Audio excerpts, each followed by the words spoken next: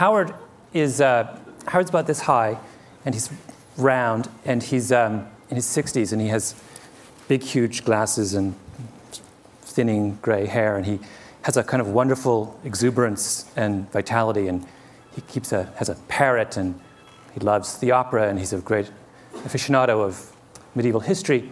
And he, uh, by profession, he's a psychophysicist, and he set up a little consulting shop in um, White Plains, New York. And he got together with the Campbell Soup Kitchen, and he made 45 varieties of spaghetti sauce. And he varied them according to every conceivable way that you can vary tomato sauce by sweetness, by level of garlic, by tartness, by sourness, by tomatoiness, by visible solids. And then he took this whole raft of 45 spaghetti sauces and he went on the road.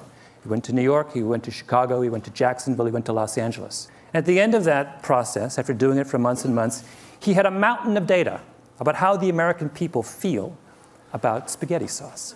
And then he analyzed the data. Now, did he look for the most popular brand variety of spaghetti sauce? No. Howard doesn't believe that there is such a thing. Instead, he looked at the data and he said, let's see if we can group all these different data points into clusters. Let's see if they congregate around certain ideas.